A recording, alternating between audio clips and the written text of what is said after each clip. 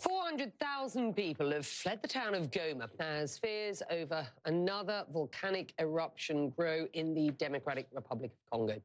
Mass evacuations were underway after 10 neighborhoods in the city were told to evacuate.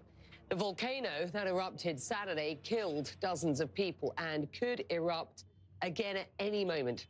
More than 100 earthquakes have shaken the area. Toxic ash is in the air, and there is also the threat of gas exploding underneath a nearby lake. Scientists call the disaster unprecedented. Well, Larry Madowo has been covering the unfolding disaster and filed this report. A state of chaos and panic as people flee the city of Goma following what scientists call an unprecedented situation. Residents of 10 neighborhoods evacuate their homes with only what they can carry mattresses, essential items, and little else. Hundreds of thousands hit the road on Thursday, according to aid agencies. They said our houses could collapse because of the earthquakes, so we're leaving because we're afraid. A crack already appeared under my bed. What sounds like a description of an apocalypse is a reality facing this part of Eastern Democratic Republic of Congo.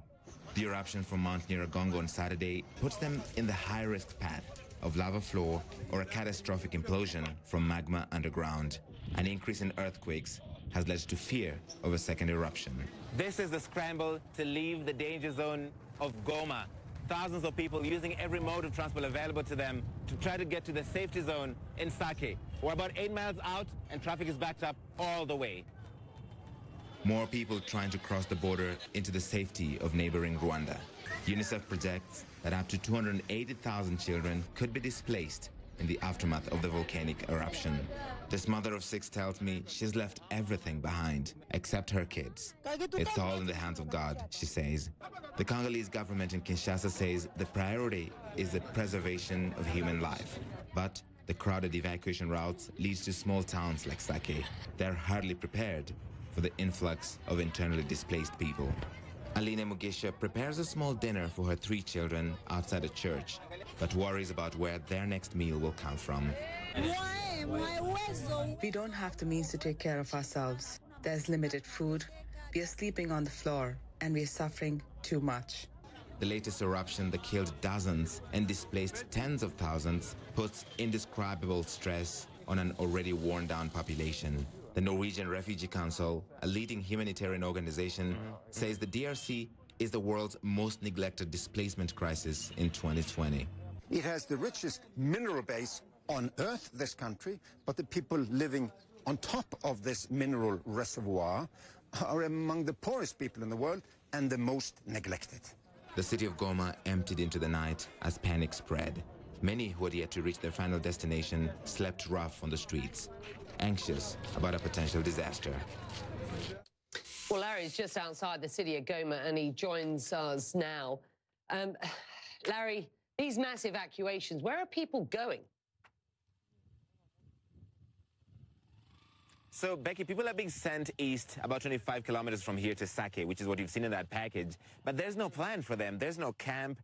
There's nowhere to hold all these people who are going there. The local government here telling us that about 400,000 people have left the city into some of them to Sake, some of them to Rwanda and others. We're standing on the foot of Mount Nyiragongo. This is what led to this entire crisis. What do you see at the back there is there seems to be some smoke coming out of the crater again.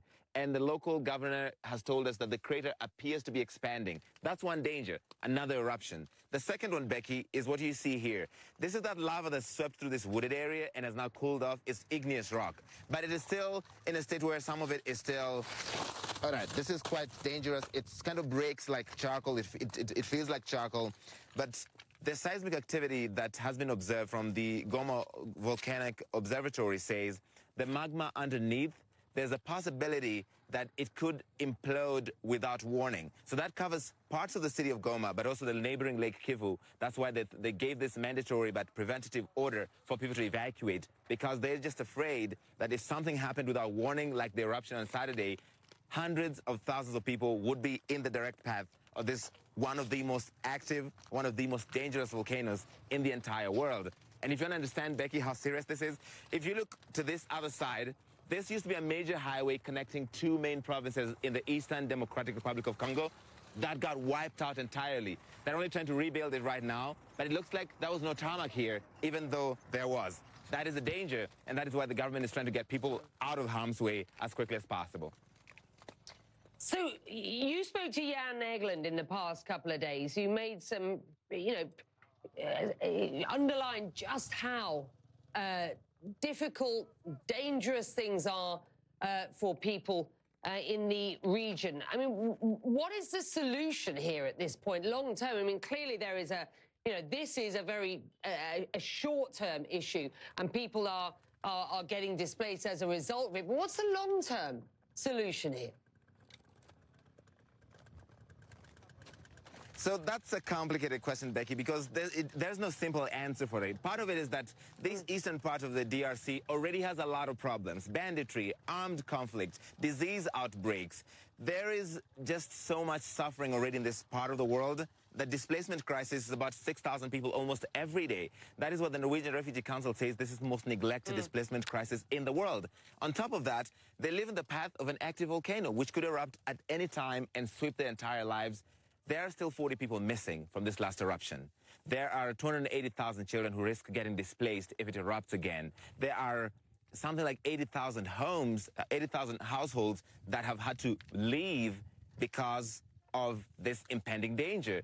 So the solution is complicated. Some have said there's need to move the city further away. There's need for a better warning system. And there, there used to be a warning system. There's a Goma Volcanic Observatory, but then it lost funding after a corruption scandal, and so they were just not able to do regular checks and warn people well in advance. So if you walk around the city, there are flags to indicate the alert level, and it's been red since the volcanic eruption, but they just don't know when the next one could be coming.